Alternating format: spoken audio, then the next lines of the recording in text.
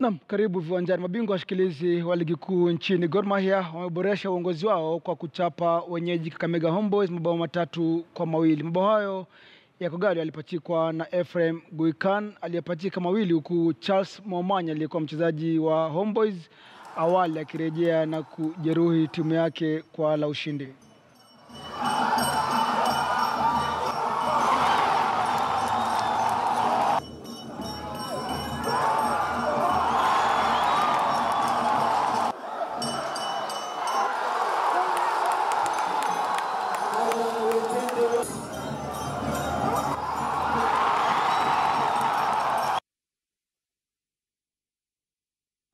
Mshindi wa medali ya dhahabu katika mashindano ya Jumuiya ya Madola Helen Obiri amesema kuwa matarajio yake ni kwamba msimu wake utakuwa nywee bila bugdha zozote.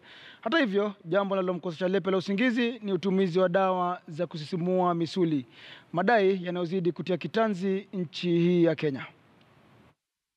Um, michuano ya Jumuiya ya Madola, you're very very impressive. Umeenda kwa doa, umerudi, pengine tueleze imekuwa vipi mpaka sasa vile mwaka inaendelea? Thank you so much. I think kwa sahi ndio tunaanza season. Maybe what I can say in Doha, sababu tukiona na Gold Coast ilifanya vizuri. Maybe let's I say it's a competition sometimes, kuna kushinda na kuna kushinda. But I still focus, hiyo kitu itanipea stress. But I have to focus in kwa races zingine. So far I'm targeting to kwenda world, kwenda Africa Games. So I'm still strong. I believe in myself. Season ndio imeanza tu, bado very very ripe. Tutarajie nini? So far I cannot promise anything because sababu tuchenda races kama tatu hivi ndio tujue, but what I believe I'm going to do much better. Yeah.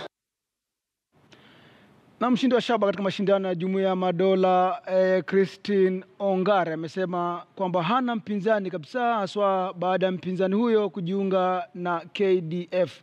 Na japo bondia wa kike nchini wanapitia changamoto sihaba, katu hajakata tamaa. Ana ombi moja tu kwa serikali, angalau apewe kazi aweze kujikimu kimaisha.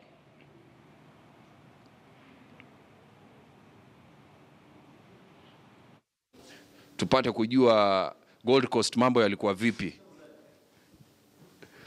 Una, una, unajisikiaje? Kwanza tuanzie hapo, unajisikiaje kuwa uh, the only Kenyan ambaye alishinda medal outside athletics? Nasikia poa na najivunia okay it was not easy so that but i tried my level best yeah So as, as, as one of the boxers that took outside the 11 boxers that went to Gold Coast, Australia, uh, you are the only one that came back with a medal. And uh, people will be asking, you know, in, the, all the, in, in all the fights that you took part in, you know, what worked for you? What made you uh, win that uh, bronze medal? okay for me it was the first thing it was so challenging because i was the only hope that was remaining within the old team. Then the first opponent was so competitive whereby to me i say it was it was a miracle whereby i don't know what went wrong with his leg with her leg but when we entered in the ring she had more power than me. Because for me mupanda weight but with her ni kama ye ukata weight. Whereby she had more power than i did. But benye ilifika time nikaona nimempiga alinipiga yes kwa sababu ile ni you score i score. Venye alinipiga nikapata opportunity pia nikamhit nikaona ni kama naanza kuretreat.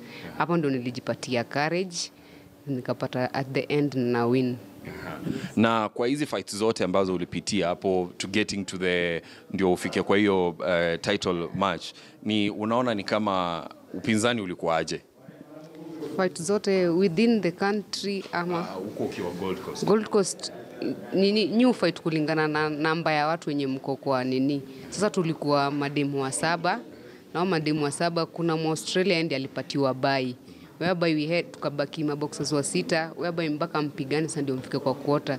Sasa already mimi nilikuwa kwa quarter. Sasa venye niliwinio quarter ndio nikakuwa nimewai bronze. Sasa nilikuwa na fight ya for silver.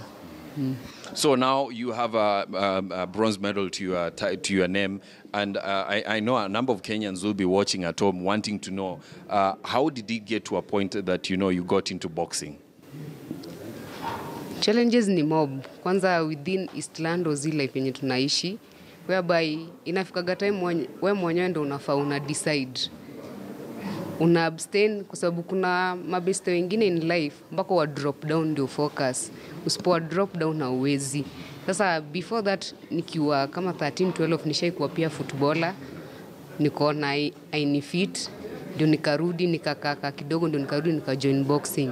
Saa before niingie boxing nilikuwa nataka kukua acrobatic ikakuwa namba ya acrobatic imejaa kwa sababu inapea wanakoga watu wa saba. Sasa ndio nikapata mtu akaniconvince, na mwenye kuniconvince alikuwa the first woman to participate in Olympics, Elizabeth Andiego, wakisaidiana na nani na, ili, na Odero, Evelyn Odero. Sasa ndo wamenimotivate nikaendelea hivyo mpaka nikafika penye nimefika, tukakuja tukakutana na tukakutana na nini Kentrak, coach Kentrak, kwa sababu League Mob I couldn't participate kwa sababu sikukuwa na do ya kujipeleka, na pia ule coach wa mtaani pia si ati yako poa. Sasa amenisupport league nikienda at least nikiwa active, although opponent pia challenging kwa madem kwa Kenya tuko down, ama tuseme within Africa kwa sababu na bila shaka ni balozi mzuri sana wa nchi ya Kenya eh, kwenye ndondi na naomba kazi. Hivyo basi serikali haina budi la kumwajiri huyo bondia Ongare. Naam, ligi kuu ya Uingereza imefika tamati Manzu. mm -hmm. Manchester City timu yako hii tayari ishatoa mwanamwali, lakini michuano ratiba ya leo usiku, Chelsea watakuwa kwa nyumbani dhidi ya Huddersfield, Leicester atagaragazana na Arsenal, mm -hmm. Manchester City watakuwa watakuwa kwa Kiamboni katika uga Etihad dhidi ya Brighton, Tottenham Hotspur timu ya Victor Mugubu Wanyama nahodha wa timu ya taifa Harambee Stars dhidi ya Newcastle. Tuanze hapa mwanzo, tusaidie wawekezaji nyumbani. Tottenham Hotspur dhidi ya Newcastle. hapa Tottenham watachukua wako mangapi? nyumbani labda mabao mawili matatu hivi uh -huh. lakini kuna bao moja kula kufutia machozi huenda likapatikana uh -huh. siko vizuri kwa haya lakini Tottenham uh, Man City wako nyumbani na vile vile wameshinda wameshinda lazima wachukue Arsenal wata, itabidi lazima wachukue kwa sababu gani Hmm. hii ni mechi ya mwisho eh?